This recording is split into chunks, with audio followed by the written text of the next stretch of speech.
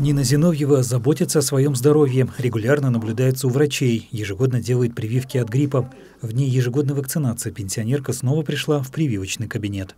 Болеть не хочется, а если уж заболеть, то так легенько. В городском округе продолжается сезонная вакцинация населения. В Щелковскую областную больницу поступило свыше 16 тысяч доз вакцины. Важное условие для проведения вакцинации – медицинский осмотр. Его можно пройти у участкового терапевта. Не обязательно у своего, а у любого свободного специалиста. Сделать это можно, например, в поликлинике. Вакцинация показана людям с хроническими заболеваниями, пожилым людям, социальным работникам – Э, педагогам. Обязательно человек должен э, обратиться к терапевту, осмотр, измерение температуры. При э, аутоиммунных заболеваниях вакцина противопоказана. Хочу быть здоровой и знаю, что это нужно. А что еще нас охранит от всего этого. Переболел летом коронавирусом, вот, э, прошло два месяца, и с супругой, она тоже болела, мы вместе болели, и вот решили сделать хотя бы от гриппа.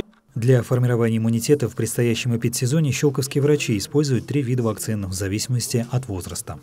Есть три вида вакцины. Гриппол, Савигрипп и флюем.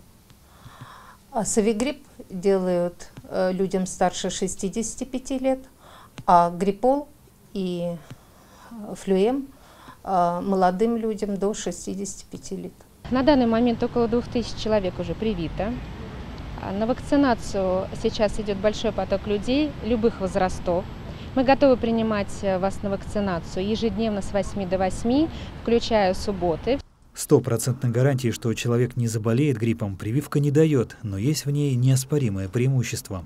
Когда э, делают прививку, то инфекция, если вдруг человек э, заразится гриппом, то протекает инфекция значительно легче. Вакцинация длится 2-3 месяца и завершается незадолго до подъема заболеваемости респираторными инфекциями. За это время медики должны создать коллективный иммунитет. Михаил Налетов, Александр Аржевский, Щелковское телевидение.